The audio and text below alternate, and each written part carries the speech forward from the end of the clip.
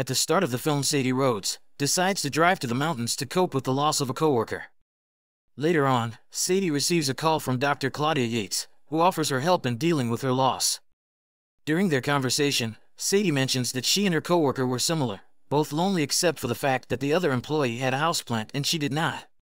Meanwhile, in another part of town, Cole Turner works at a farmer's market and helps a store owner sell plants. Cole is upset because his ex-girlfriend, Fiona, broke up with him. Despite encouragement from others, Cole remains fixated on his failed relationship. Some people attribute the separation to his neediness. While driving to Cole's hometown, Sadie stops at the farmer's market and asks for a low-maintenance plant. Cole interprets this as a sign that Sadie is not meeting other people's emotional needs. Furthermore, Cole is incredibly passionate about farming and becomes frustrated when he realizes that Sadie probably won't take good care of the plant. So he instantly refuses to sell it to her and offers her a tiny cactus instead, belittling her. She can't believe what she just heard and calls him rude. The store clerk arrives and sells her the plant, and she admits to Cole that she believed they were flirting earlier. Cole changes his mind and approaches Sadie's car. And as he taps on her window, the vehicle stops abruptly and crashes her plant. He invites her out for a coffee, and though hesitant at first, she agrees to his invitation. They embark on a day-long date, strolling around town while talking about their personal lives. Cole brings Sadie to the steps where The Exorcist was filmed, as he regards it as the scariest film. Sadie says that she chooses not to be afraid of anything.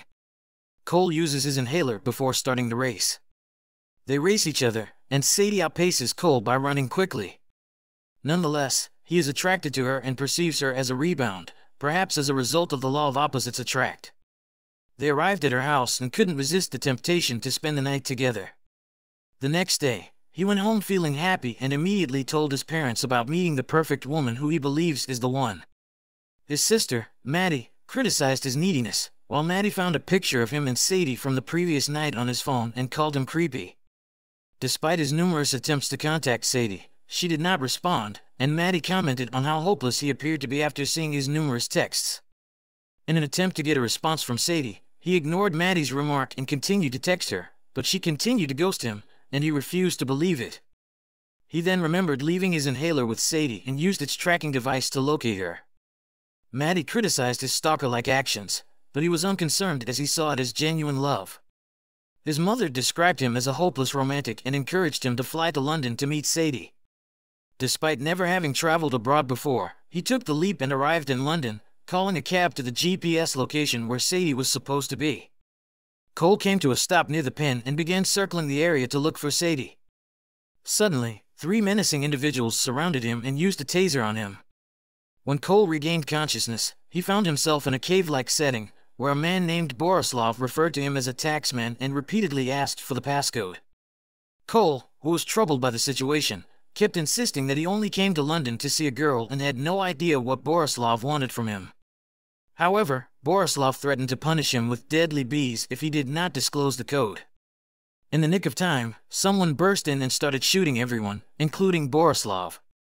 When the shooter removed the cover on their face, Cole had no idea what was going on. She confessed that she was a CIA operative and helped him escape the cave. To his surprise, he found himself in Pakistan.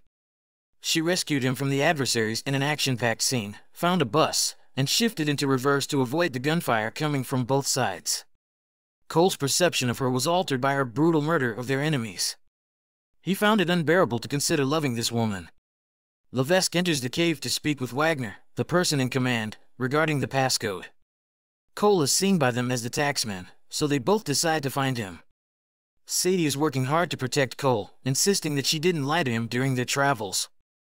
However, Cole continues to provoke her by bringing up her colleague Elena, who she revealed she killed because she was a spy for their enemies and had committed terrible deeds against innocent people. Later, Sadie takes Cole to a local market to introduce him to her colleague Marco. During their conversation, Marco brings up their past romantic relationship, which makes Cole feel angry and jealous. He questions why Sadie involved herself with him, and she responds by saying that he was a mistake, which deeply hurts Cole. Despite this, Cole learns that Sadie was not in the cave to rescue him, but rather to stop someone who had stolen a deadly Aztec biological weapon. Sadie requests that her friend slash ex-boyfriend send Cole safely back to the US because she will be dealing with a dangerous individual. She instructs him not to contact her again, which Cole takes personally. As they are about to depart, Marco, who is confident in his ability to protect Cole, is shot by a bounty hunter who was there for the taxman. The bounty hunter wants to speak with Cole, and both Sadie and Cole are held at gunpoint. Another hunter kills the previous one, only to be killed by yet another hunter called the Leopard. Sadie holds the hunter at gunpoint and demands to know where he plans to send Cole. She decides to take Cole in a Toyota and they travel, while Cole complains about Sadie's violent and gun-filled lifestyle. He also keeps asking her about the significance of the passcode. Sadie realizes that if Levac is searching for the taxman, he may not have the passcode to the case containing the Aztec biological weapon. She changes her plan and decides to recover the weapon instead. She asks Levac if he trusts her, and then knocks him out. When he wakes up, he finds out that Sadie is offering the taxman to the terrorists, in exchange for money. Her real plan is to use the opportunity to retrieve the bomb. And boards in the aircraft with Wagner, Levac's right-hand man, and his crew. The plan goes wrong as Wagner discovers a picture of Sadie on Cole's phone, which he had taken without her knowledge. Wagner assumes that Sadie and Cole are romantically involved and urges her to ask Cole for the passcode. As he threatens them, Sadie claims to have it in her pocket, but instead uses a ring to activate her tasers, causing Wagner to faint. Cole and Sadie fight off their enemies, and, but Sadie gets shot. She instructs Cole to find a parachute and leave with the bomb. However, Cole refuses to leave her behind and carries her in his arms while taking Levac's case with them. Later, on an island near the Arabian Sea, Sadie found herself in a tense situation. She was thankful for Cole's bravery in retrieving the bomb, as she now had the Aztec suitcase but still didn't know the passcode. She sent a secret message to the CIA, the next morning, Wagner arrived on the island with soldiers. CIA agents arrived on the shore, and after gunfire, they transported Cole and Sadie back to CIA headquarters in Virginia, where they were interrogated. Unfortunately, they were not successful in obtaining the Aztec case. Agent Monty Jackson confronted Sadie about involving Cole in the case compromising her assigned mission by going rogue and introducing a potential threat. Meanwhile, Agent Patty tried to get Cole to turn against Sadie by showing him the number of people she had killed over the past six months. However, Cole rejected their offer because he believed that Sadie was inherently kind, despite having caused numerous deaths due to the nature of her work as a CIA agent. Cole noticed a plant near Elena's lifeless body and made a significant deduction.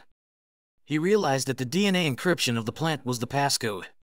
Cole recounted how the Aztec communities used this plant, known as amaranth, frequently in their rituals.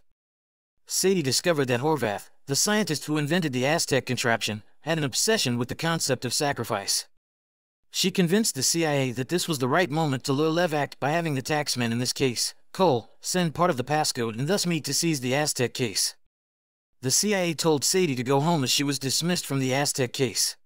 Yadamy Leveque, the boss who was primarily interested in having the bomb in the code, became impatient with Levac due to the delay in receiving the passcode. He threatened to murder Levac if he did not obtain it soon. Levac received communication from the CIA and went to a high-rise restaurant to meet with Cole, the taxman. Monty and his men waited outside to secure Cole's safety. Monty informed Cole that he must complete the task to ensure the security of his family, raising the stakes for him. Suddenly, Leveque's troops opened fire on the agents outside the structure. Monty told Cole to leave immediately. It was too late. Cole stalked the conversation for as long as he could, hoping that Sadie would appear to help him. He refused to give Levac the passcode he didn't have. Mr. Yadamy grew impatient, and Levac pointed a revolver at Cole. Sadie defied orders from her boss and claimed she was there to protect someone she loved. After Sadie entered the passcode, the case opened, and the Aztec artifact was revealed. Although Sadie was paid for her part, Levac threatened to kill both her and the taxman. Sadie informed Levac that she had used the $10 million payment to hire bounty hunters to eliminate him and his men. As they all fought over the weapon, Wagner attacked Sadie. Cole responded with a counterattack and dragged Wagner out of the room. A fight ensued, and Cole used his wrestling skills to his advantage. Meanwhile, the top floor started malfunctioning and began to rotate. Levac and Sadie struggled to keep possession of the weapon, and they found themselves in a dangerous situation as they teetered on the edge of falling. Just as things looked dire, prompting Sadie to make a risky move to recover the Aztec weapon. In the scuffle, Levak fell, but Cole and Sadie managed to avoid being pushed out of the shattered windows. After everything was sorted out, Sadie and Cole began dating. Despite their differences, they happily accepted each other as they were. Sadie continued to maintain her cover as an art curator to Cole's family, and people were glad to see that he had found love. The movie concludes with the couple going out on a date. Thanks for joining me for this movie recap. If you enjoyed it, be sure to hit the subscribe button for more movie recaps. See you in the next video.